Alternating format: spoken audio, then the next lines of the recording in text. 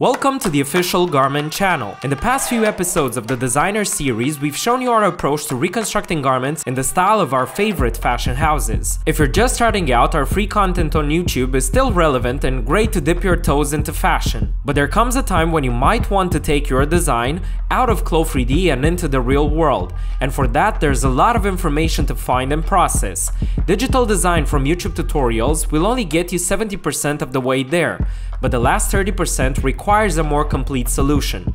To bridge that gap and make the learning process a lot more enjoyable and practical, we've developed our own masterclass. In this video, let's have a quick look at what the masterclass covers and do keep in mind that we are constantly adding new content that you will automatically unlock as an existing member. The best way to learn fashion design is by dissecting and recreating a few garments with their individual sets of challenges to better understand how they are designed and manufactured. You can then use similar principles and develop original items of your own. And instead of opting for some standard items like all the other courses are teaching, we've selected items that we found inspiring from a diverse range of fashion houses. The first item we dissected is the Rick Owens inspired coat, an oversized piece with some very interesting components at the back. We've learned how its features were developed and remade them inside a Clo3D, the industry leading fashion software. We then prepared the patterns and printed them out on A4 paper. We figured that pretty much everyone has access to an A4 printer and we've made it easy and accessible. We then covered the types of fabrics you should look for, what sort of sewing machines are recommended to really set you up for success success, what other equipment is a must,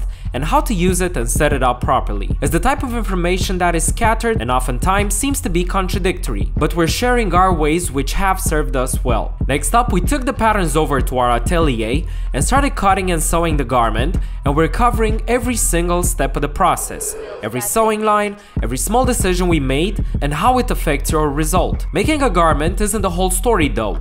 You still need to present it to the world to generate interest and sales. We've channeled our digital expertise and developed lessons on rendering, photography, and there's also an upcoming chapter on animation. After the coat, we needed a new product to reconstruct, and we stumbled upon this incredible tailored blazer by McQueen and used it as a case study. We've again covered both how it was designed in Clo3D, as well as how you can make it yourself at home, step by step. The next item which is now available is this Jacquemus dress, and we plan to do at least three more items in the near future, so keep an eye out for our updates over at grmnt.com forward slash masterclass. You can probably already tell that we operate very similarly to how a university does, by going through a wide variety of curriculum that will help you develop your sense of fashion design and sewing.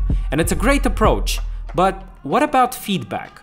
How will you be able to know if you're doing things right?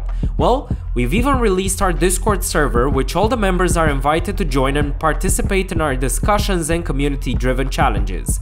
Join us and start exploring your fashion design journey.